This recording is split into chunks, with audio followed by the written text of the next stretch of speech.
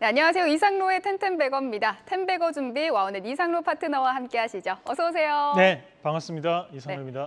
파워르장의 금리 인상 재확인 언급에도 상승 출발한 시장이지만 곧 하락 전환했죠. 아, 장마처럼 조정이 좀 지난하게 이어지다 보니까 지치기도 하는데 오늘 장 어떻게 보셨을까요? 개인 투자자분들이 가장 힘들어하는 게 하락이 아닙니다. 어, 그럼요.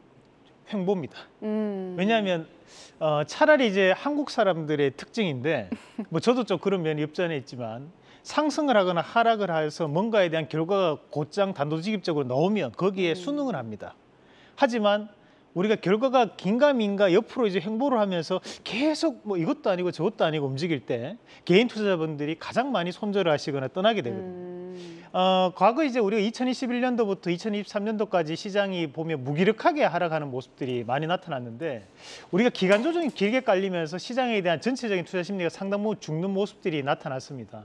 지금도 시세 자체가 상승했을 때 강하게 상승했던 게 아니라 추세적으로 천천히 올라가는 모습들이 나타났던 반면 6월 12일 이후에 지금 하락을 하는 것도 천천히 하락을 하다 보니까 우리 개인 투자분들이 조금 지치는 모습들이 많이 보이는 것 같은데 아, 어떡하죠? 이런 모습들이 제가 볼 때는 어, 7월 12일 미국이 물가 상승률을 발표하는 7월 12일까지는 좀 더 이어질 가능성이 높다. 음. 결국에는 이제 제롬 파월 의장이 할 수 있는 것은 계속적인 말을 할 수밖에 없거든요.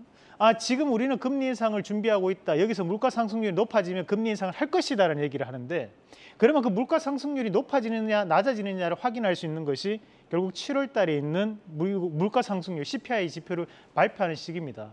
그러나 그때까지는 산발적인 개별주들이 움직일 수밖에 없는 현재 같은 시장이 나타날 가능성이 대단히 높다라는 부분으로 어느 정도는 조금 지켜주는 종목군들에 대해서 우리가 좀 더 보유하시면 어떨까? 결국 그런 종목군들이 또다시 강하게 튀어서 올라가는 거니까 실적이 개선될 수 있고 지켜주고 있는 기업들을 좀 더 눈여겨보자 말씀 드리겠습니다. 네, 오늘의 매매 포인트 바로 알려주시죠. 네, 어, 그래서 오늘의 매매 포인트를 잡아봤습니다. 금리 인상과 금리 동결이라는 부분이었는데, 자 우리가 결국에는 이제 금리 인상보다는 저는 금리 동결이 여전히 유리하다고 판단합니다. 어, 그래서 이런 부분 자체는 이어질 수밖에 없다는 거 기억을 하시고 여기에 따른 부분 자체에서 또다시 재료적인 부분에서 종목군들에 대한 상승과 하락이 나타나고 있는 과정들입니다. 첫 번째 보시면 이제 마이크론 테크놀로지에 대한 평가가 나왔는데 바닥을 지나가고 있다. 좀 더 매출이 상회될 것이다라는 전망치가 나오면서 국내 증시에서는 PCB 관련주들이 강한 움직임들이 나타나고 있습니다. 자, 현대건설이 이번에 수주받았던 내용 중에 또 PCB 관련된 부분도 음, 있었습니다. 네. 그렇기 때문에 그에 따른 부분 자체에서 오늘 PCB 관련된 기업들이 강한 움직임들을 나타내고 있는데 자, 우리가 이 PCB 관련주 상당히 많습니다. 우리가 스마트폰에 들어가는 PCB 관련된 기업들도 있고 대신에 반도체에 들어가는 PCB 관련주도 있습니다. 그 중에서도 두 가지 기업만 좀 더 소개를 해드린다면 우선은 대덕전자를 같이 한번 볼 필요가 있습니다. 자, 대덕전자 같은 경우에는 매출액 자체에서 상당히 다양한 라인업을 보유하고 있는데 우리가 반도체라든지 또는 우리가 이제 전장용 PCB에 대한 부분에서도 매출이 나오는 기업이기도 하고 과거 이제 대덕 GDS라는 기업이 또 있었습니다. 그런 기업을 또 합병을 함으로써 덩치를 더욱더 키우는 모습들이 나타났었는데 이 대덕 전자가 이 PCB에서 가장 중요한 핵심적인 어, 역할을 하는 기업이다. 뭐 그렇게 보시면 되고 어, 우리가 이제 충전을 그 추천을 해드렸던 기업은 이 TLB라는 기업인데 대덕전자에서 네. 분사한 기업 아닌가요? 네 맞습니다. 그래서 우리가 그 대덕전자가 커피라면 어? 우리가 지금 TLB 같은 경우에는 TOP 어. 약간은 조금 더 고부가치군을 생산할 수 있는 그런 PCB라고 좀 보시면 되겠습니다. 그때 PCB 중에서도 네. 대장주 들고 오셨다면서 소개하셨거든요. 네, 맞습니다. 그래서 지금 현재 우리가 TLB도 그때도 말씀드렸다시피 조금 올랐지만 그래도 대장주로 말씀드린 게 맞다고 말씀드렸던 것도 결국에는 다시 한번 오늘 신고가에 대한 출하가 나오고 있는 과정들입니다. 결국 시장에 대한 흐름상에서 지금 현재는 HBM 반도체라든지 또는 DDR5에 대한 신소재에 대한 부분 자체에서 얘기가 나오고 있는 상황이기 때문에 저는 TLB를 좀 더 눈여겨볼 필요가 있다 는 말씀 다시 한 번 더 드리면서 이 PCB라는 관련된 키워드가 나온다면 아, 우리가 일반적인 좀 더 안정적인 매매를 하실 분들은 어, 대덕전자도 충분히 음. 긍정적인 부분으로 신고가 가능성이 있다는 말씀도 함께 드리겠습니다. 네, 그리고 오늘 충전 관련주도 주목해야 된다고 들고 오셨는데요. 자세히 이야기 들어볼까요? 네, 어, 오늘부터 이제 시행 규칙에 대한 부분 자체가 시행이 되게 됩니다. 거기서 가장 골자가 뭐냐면 전기차 충전을 주유소에서도 할 수 있다라는 게 골자입니다. 그 말은 뭐냐면 과거 같은 경우에는 주유소에 전기차 충전을 할 수가 없습니다. 하지만 그만큼 법을 완화시키면서 어, 전기차 충전에 대한 인프라를 확대시켜 나가겠다라는 것이 골자라는 겁니다. 그럼 그 부분 자체에서 오늘 충전기 관련된 기업들에 대한 상승세가 나타나고 있는 그런 과정들이라고 보시면 되고 자, 그 중에서도 이 우리가 좀 더 특별적으로 좀 봐야 되는 기업들이 몇 가지가 있습니다. 결국 충전이라고 하면 진입 장비에 상당히 낮게 형성되는데 하지만 무선 충전이라든지 또는 급속 충전 같은 경우에는 좀 더 부각받을 가능성이 좀 있습니다. 우선 동양 EMP라는 기업 같이 보겠습니다.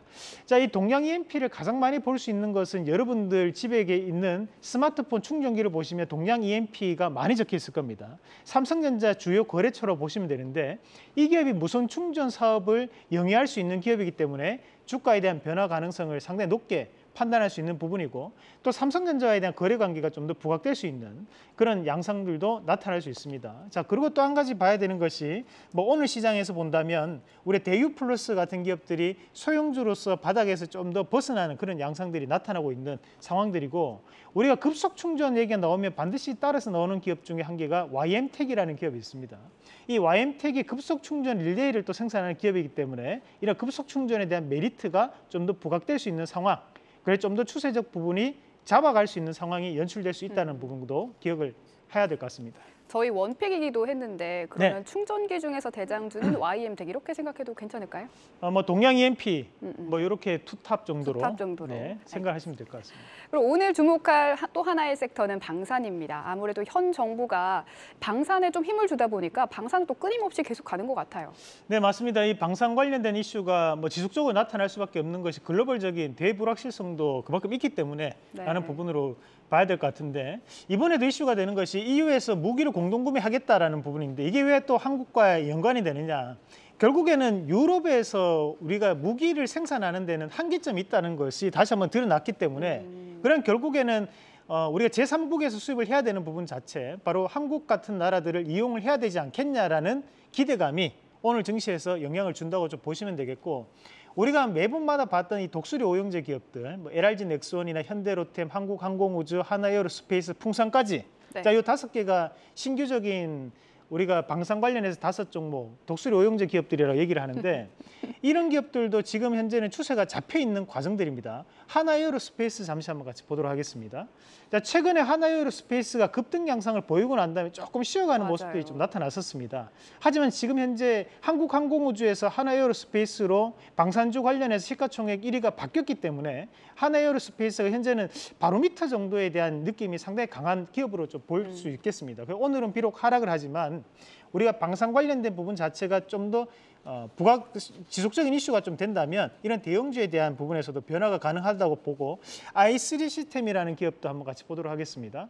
자, i3, 시, i3 시스템이라는 기업이 현재 신고가에 대한 움직임을 나타내고 있는데 거래량이 많이 적은 기업입니다. 네. 그럼에도 불구하고 이 기업이 보면 이제 빌딩에 들어갈 때 우리가 사람의 체온 인식을 하는 적외선 감식이라고 하죠. 그런 부분 자체를 납품하는 기업이다 보니까 어, 최근 들어서 수주에 대한 양이 좀 더 늘어나고 있다는 부분이 지금 기업에 대한 재평가를 받고 있는 과정이다. 그렇게 판단을 해볼 수 있겠습니다. 네, 오늘은 반도체 전공정 관련주 들고 오셨는데요. 요즘 시장에 HBM 때문에 후공정 얘기만 너무 많이 했는데 전공정은 좀 오랜만인 것 같습니다. 어, 사실 이제 우리가 후공정은 진입 장벽이 조금 낮습니다. 상대적으로. 음. 하지만 후- 전공정 쪽은 이제 진입 장벽이 대단히 높게 형성됩니다. 왜냐하면 본인들만의 기술력이 있어야지만 진입할 수 있는 부분들이고 우리 이 전공정 안에 포함되는 것이 어, 우선은 이제 웨이퍼, 산화 공정, photo 공정, 그다음에 이제 증착, 식각, 그다음에 박막까지가 이제 우리가 흔히 어, 우리가 전공정이라고 얘기를 합니다.